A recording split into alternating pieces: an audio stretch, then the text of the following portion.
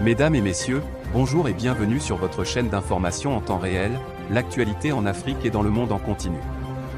Vous informer est notre mission car l'information vous place au sommet du monde. Alors si vous êtes nouveau, abonnez-vous et cliquez aussi sur la petite cloche de notification pour ne plus rien manquer, cela étant fait c'est parti. Avant de commencer la vidéo, nous tenons à rappeler que, les images utilisées dans toutes nos notes d'information sont à titre illustratoire. Nous vous invitons donc à rester poli et courtois dans l'espace commentaire au risque de voir votre commentaire tout simplement supprimé. Merci et bon visionnage à tous. Mesdames, Mesdemoiselles et Messieurs, bonjour et bienvenue une fois de plus sur votre chaîne préférée FD News, votre chaîne d'information et d'actualité en temps réel.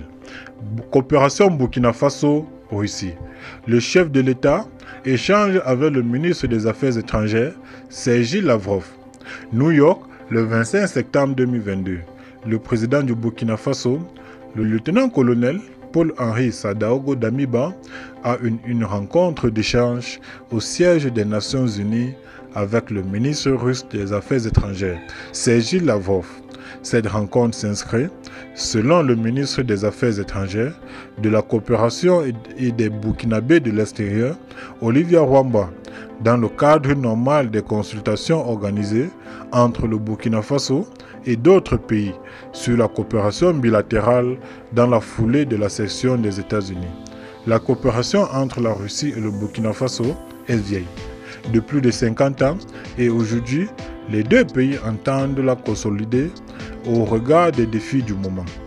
Actuellement, il y a eu le souhait de renforcer davantage cette coopération et de la porter à un niveau qui sera mutuellement bénéfique aux deux pays, a indiqué le ministre. Eh bien, les amis, c'est ici que s'achève cette petite note d'information. Vous informez à notre émission.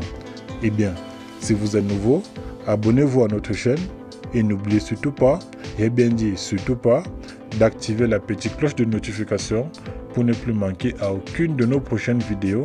Laissez vos impressions en commentaire et partagez cette vidéo à vos amis si vous l'avez trouvée notamment intéressante.